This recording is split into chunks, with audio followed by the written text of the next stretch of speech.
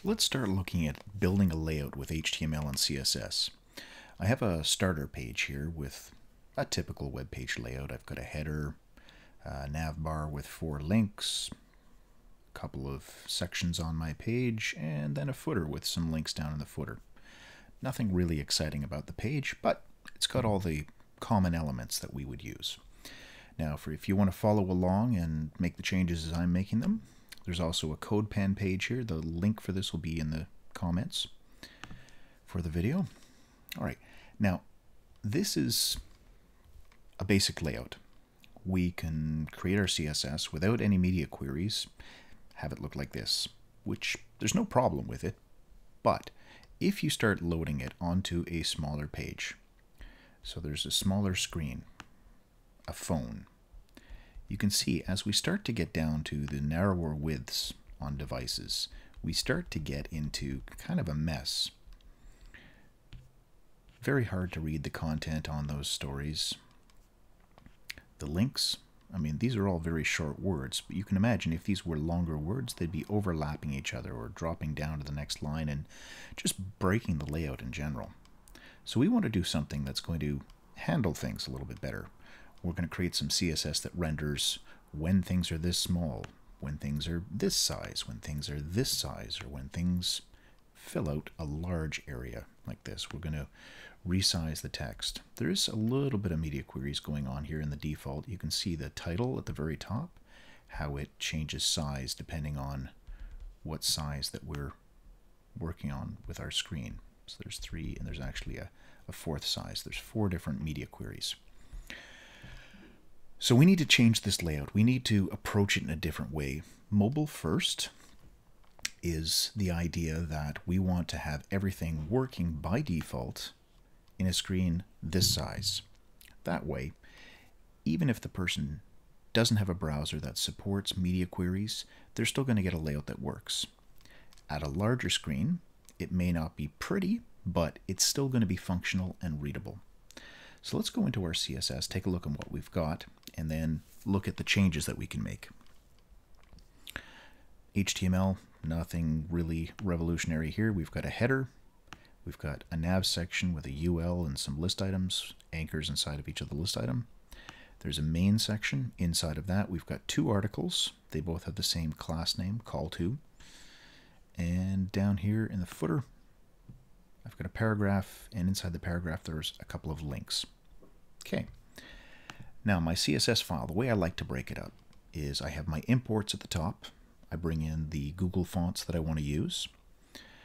Then I set up my defaults, strip out all the padding and margin to do a reset. So if something's got padding or margin, I know it does because I'm the one who's put it there. I'm using border box for my box sizing so I don't have to worry about calculating my padding and border when I set widths my default for the HTML, I set a font size, line height, and the font that I want to use on everything unless I specify otherwise. You'll see that I do have my Google font followed by some fallbacks for the various operating systems. In my H1, 2, and 3, my header tags, I have my font sizes that I've listed up at the top here, these are going to be my sizes. I'm not using any sizes other than these throughout my page to get a proper typographic mm-hmm. hierarchy. The three headings are going to use the Montserrat font. They're going to use the different sizes. And I'm setting the same padding on all of them. By default, paragraphs have the same padding. And in the footer, I decided I was going to use the Montserrat font as well with the smallest of the font sizes. The anchors in my footer, they've got slightly different styling as well. Then into my navigation menu, the UL itself, 100% the width of the screen. Overflow Auto I'm using so that I will get background seen behind the whole thing or borders if I put a border on the bottom like I have here. I don't I want it to be actually at the bottom. Overflow auto protects me when I use float for my list items like I have here. Now with 25%, this is something that we're going to rewrite right away. I want to do mobile first. And that means those links have to be 100% the width. like this. I want them vertically stacked. I don't want them cut up into small little sections. When I'm at this small size, I want 100%. When we expand the screen, you can see, okay, my font sizes, they're bumped up a little bit. It's not the prettiest having them stacked like this, but it's still functional. And it's going to work for the phones as well. So we want to do the same sort of thing with these two stories. So uh, rest of this is pretty standard, just styling and coloring on the, the fonts. The border, I put the border right on all of the list items. So the first, second, third, and fourth are all going to have a border on the right, but then I'm removing it from the last one. And that means that I'm going to be getting, actually, here, I'll move my cursor away so we don't have those. You can see the first three have the border. This style I'm going to remove from my default. I'm going to put it into my media queries. I'll come back to do that. Now my layout, I've got the wrapper div. It's giving me a little bit of a padding on the left and right here. The header, nav, main, they're all 100%. Call to, by default, I'm going to have to change that to 100%. And there we go. Now I've got a mobile first layout. Fills up a whole, the whole width. Expand it all the way. All right. It's functional. Not pretty, but it's functional. So let's start looking at what we can do in the media queries to make this layout work better. And here they are at the bottom of the page, my media queries. So if there's something different that I wanted to do, in the small sizes, or the medium, or large, or extra large. So these are giving me some decent breakpoints between the different sizes. My anchors, let's start with those. So I've got the four of them here, and at my smallest, they're stacked. The next size up, so when I get up to about this size, what I'm going to do is I'm going to have one, two, three, four. Make a little box out of it. So our selectors will come up to the top here. We'll grab the ones that we want in the navigation. The UL, we're not changing anything on that. It's just these. So I'm going to copy that. Get rid of that one. And I'll come back down to the bottom. Inside the media query for this size, There we are. So we're going to say 50% is the width. And border right on all of them. Sure, we can do that. We don't necessarily need to have this one at this point. I'm going to put it down in the bottom because that's likely where I'm going to be using it later. Okay, there we go. There's our four links.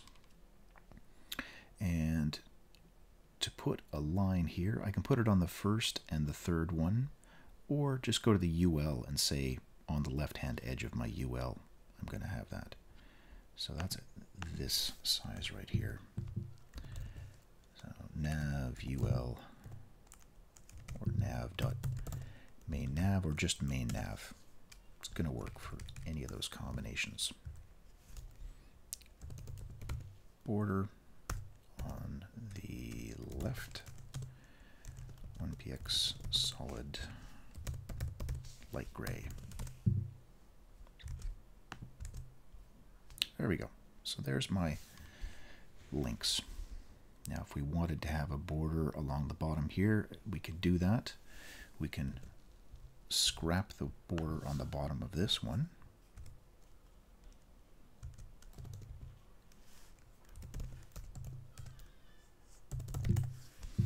And we'll just add it to all four of these.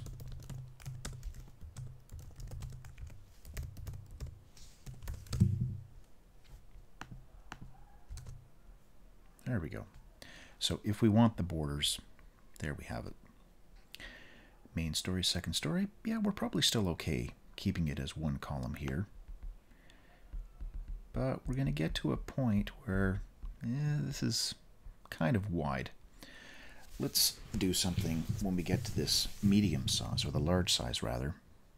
We'll put the links across the top, four columns, and we'll split the story into the two columns. So here we want our styles for these. Paste these in here. Uh, we'll go back to what we had originally.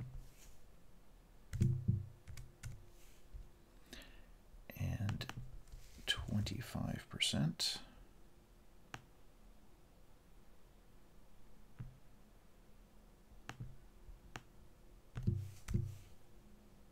Bring this one back. There we go. All right, so we have our four links with the borders. We'll get rid of the one on this side for the UL.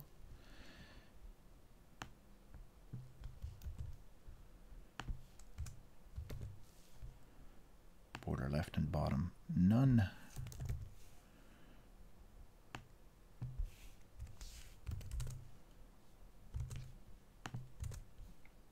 There we go.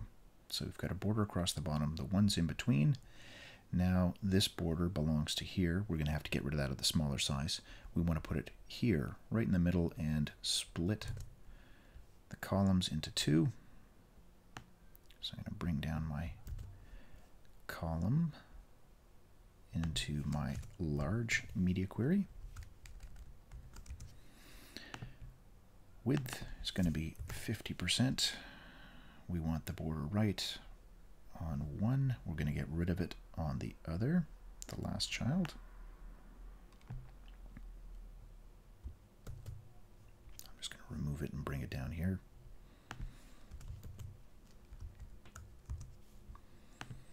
And we don't, uh, yeah, we'll keep the float here and the padding is going to be the same as the original, so we can remove that. We'll come back up to our defaults and say, well, they're filling 100%, so they don't need the float property and they don't need the border right. Okay, let's go back down to our small size. All right, we're going to fix the border here, put it on the right side, but we've got this working. There we go. There's no extra border on the right-hand side. That's good.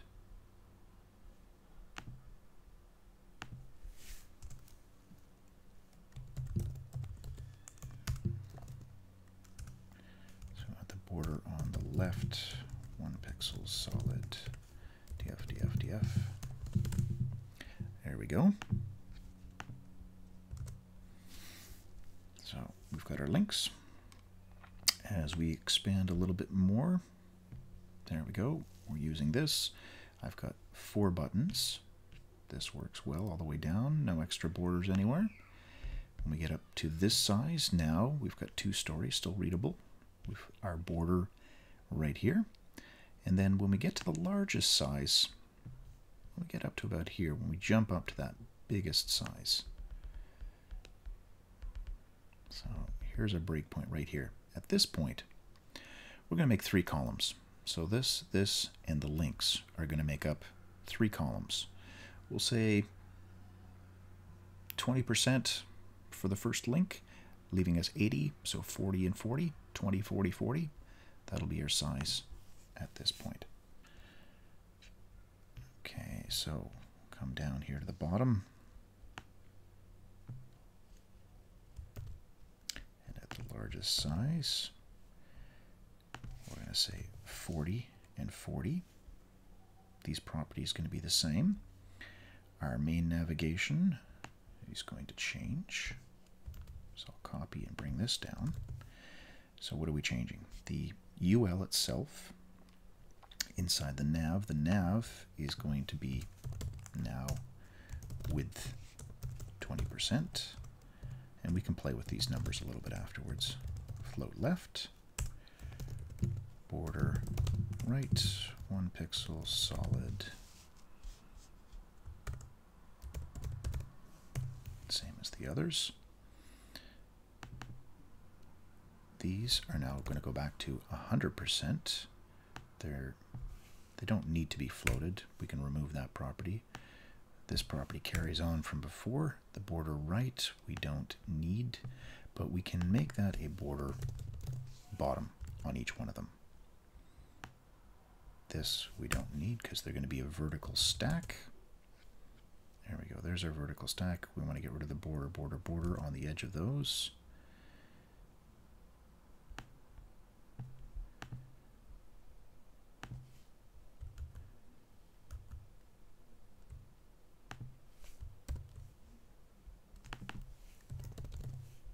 Bottom's going to be that, and the right, we will tell it to go away.